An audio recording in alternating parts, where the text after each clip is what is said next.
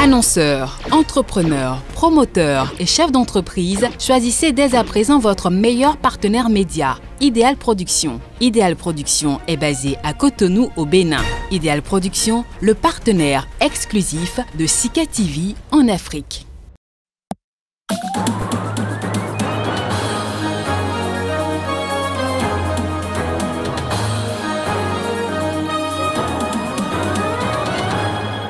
Sur les traces de la restitution des œuvres patrimoine du Bénin, une délégation française était sur place. Elle était conduite par le président du musée, Kebranly.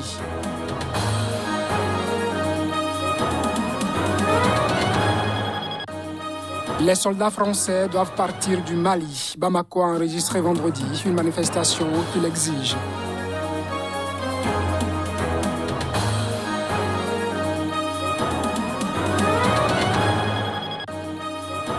La cybercriminalité désormais pénalisée en Zambie. Le texte adopté au Parlement a été signé par le président.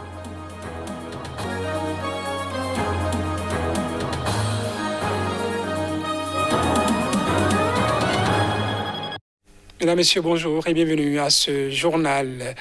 Hospitalisé en début de semaine pour une grippe, l'ancien président malgache Didier Ratirak officier de marine surnommé l'amiral rouge pour sa politique socialiste, est mort ce dimanche matin à 84 ans. L'annonce a été faite par l'actuel chef de l'État, Henri Rajoelina, sur Twitter. Didier Ratirak a été président de l'île de l'océan Indien de 1975 à 1991, puis de 1997 à 2002.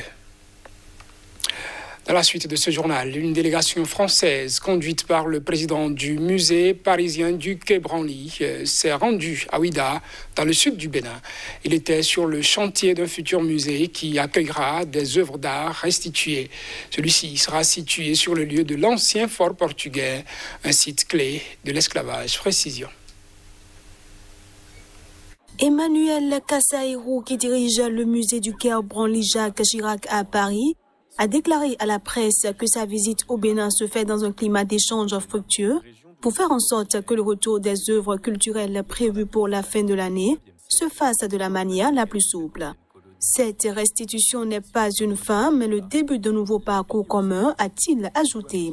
En décembre dernier, le Parlement français a approuvé la restitution de 26 pièces du trésor de Béanzin, provenant du pillage du palais d'Abomey en 1892 pendant les guerres coloniales est aujourd'hui conservé au musée du Caire Branly Jacques Chirac.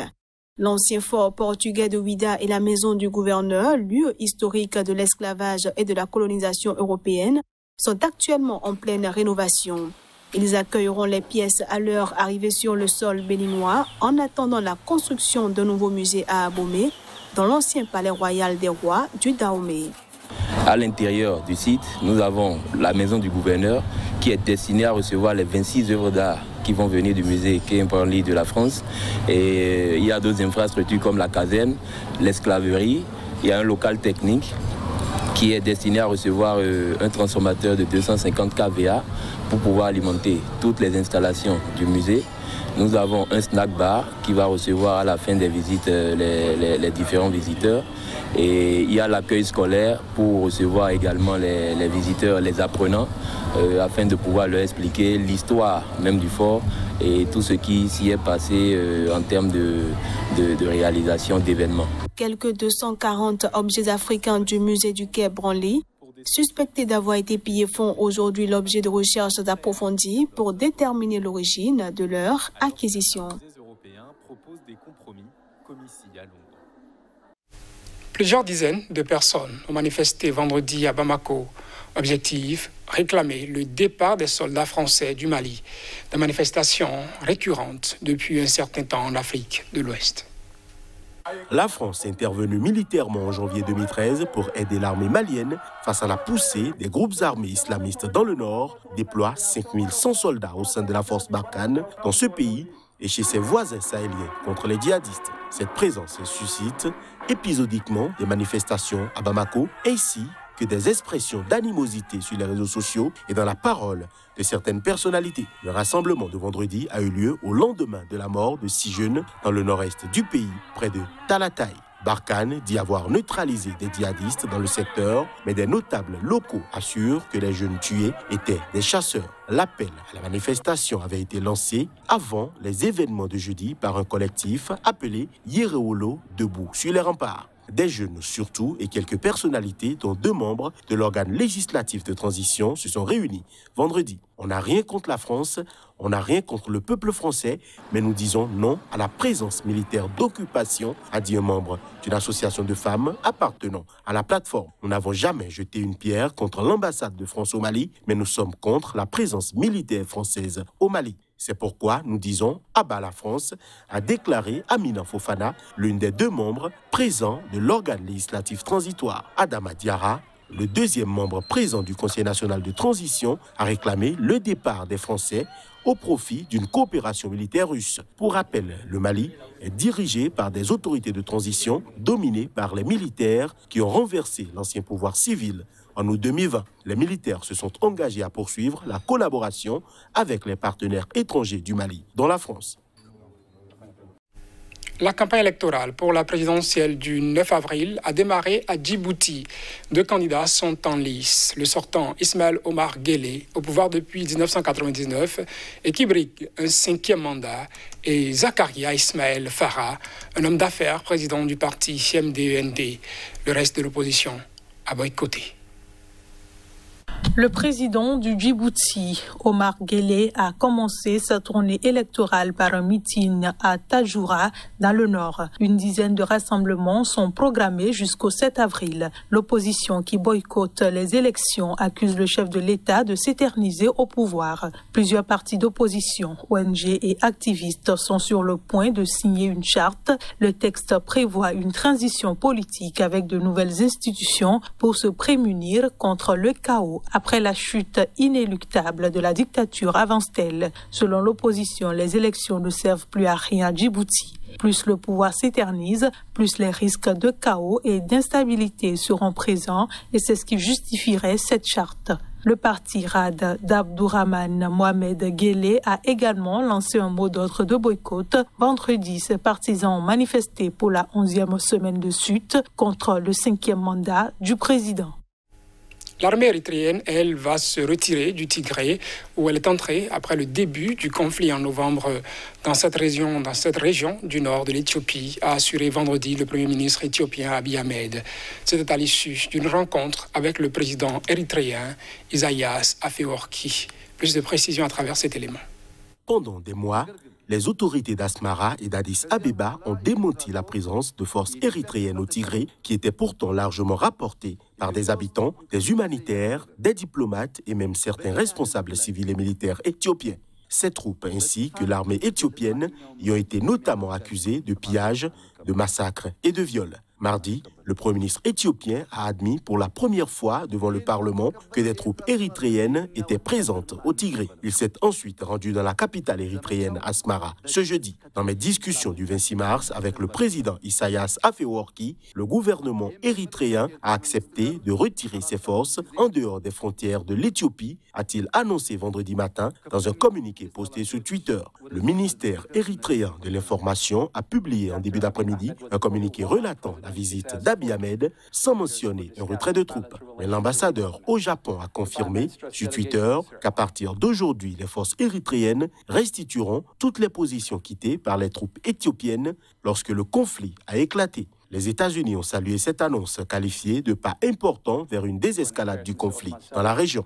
Nous devons voir un retrait immédiat et inconditionnel des troupes, la fin des hostilités et une solution politique, a réagi de son côté le ministre britannique des Affaires étrangères. L'Éthiopie et l'Érythrée se sont opposés entre 1998 et 2000 durant une sanglante guerre frontalière alors que le TPLF dominait le pouvoir en Éthiopie. Les deux pays se sont rapprochés après l'arrivée au pouvoir en 2018 d'Abiy Ahmed, récompensé du prix Nobel de la paix en 2019. Mais l'Érythrée et le TPLF sont restés de féroces ennemis.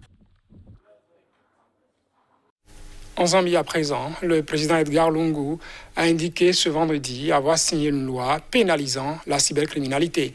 La signature de cette loi intervient deux semaines après l'approbation du texte par le Parlement.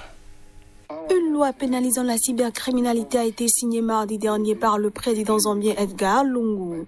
L'information a été donnée par son cabinet qui a ajouté que le président espérait qu'elle amènerait de la raison dans la façon dont Internet est utilisé en Zambie.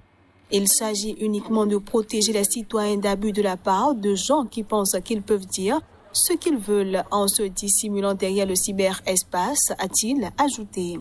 La loi qui permet les vérifications sur des ordinateurs privés pour activités illicites a été signée deux semaines après l'adoption du test par le Parlement. Le ministre de l'Intérieur, Stéphane Kampiongo, avait défendu la nécessité de cette nouvelle législation en expliquant que le harcèlement en ligne était en hausse dans le pays et visait les adultes comme les enfants.